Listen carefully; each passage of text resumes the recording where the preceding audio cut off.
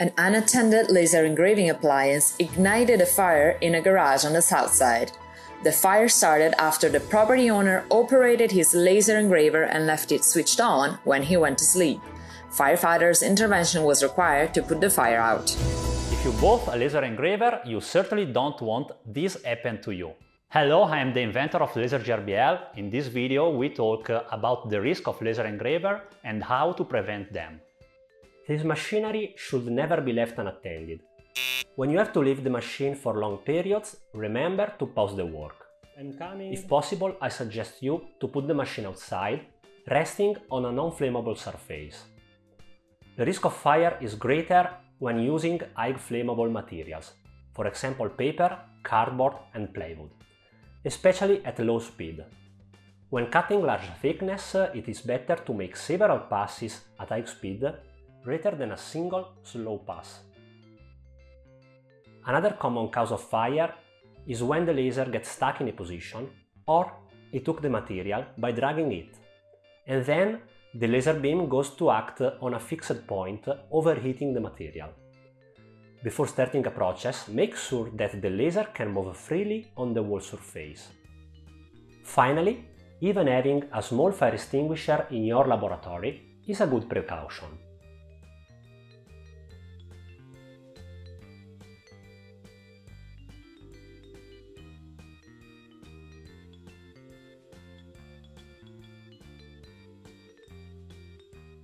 International safety regulation require that a laser pointer is classified as not dangerous when its power is less than 5 mW, because 5 mW is the safety threshold that allow our eye, the eyelid, to close in time to prevent our eye from being damaged. Engraver lasers are thousands of times more powerful and they radiate beams of light into the environment that can widely exceed 5 mW.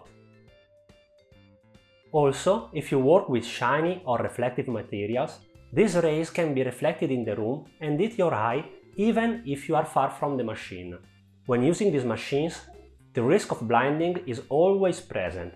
For this reason, I recommend to wear safety goggles even in low power phases, like focusing and positioning, because a little distraction is enough, and you may inadvertently press the start button while you are focusing with very, very serious consequences.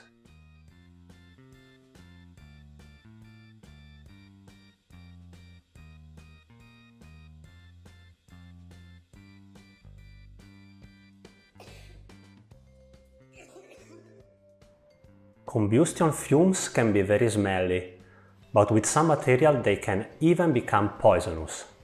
In particular, some plastic can release chlorine and cyanide when laser etched.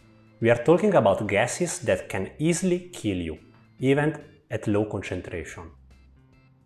There's a list of materials that it's safe to engrave with laser and materials that it's not. You can find this list in the description.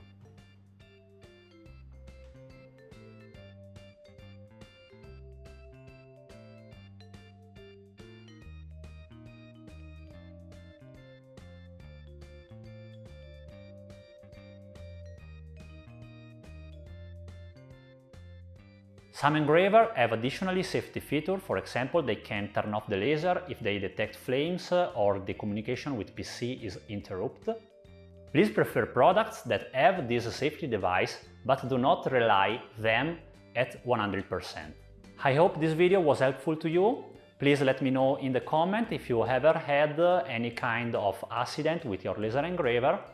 If you like this video, please uh, subscribe to the channel and put a like.